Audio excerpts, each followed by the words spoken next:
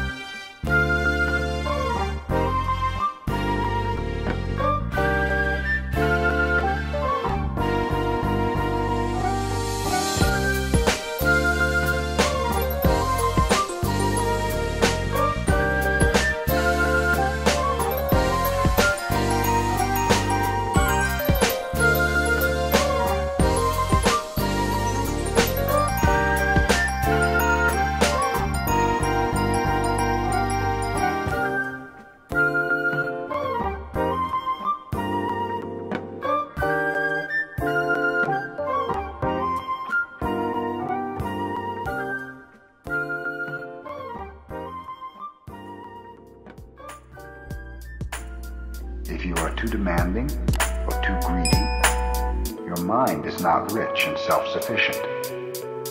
When your mind becomes demanding, when you long for something, you will end up violating your own precepts, not to tell lies, not to steal, not to kill, not to be immoral, and so forth.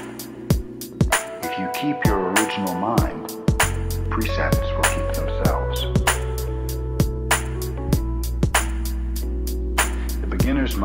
the mind of compassion. When our mind is compassionate, it is boundless.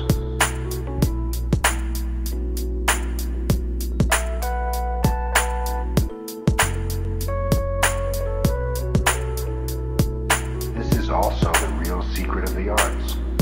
Always be a beginner. Be very, very careful about this. point.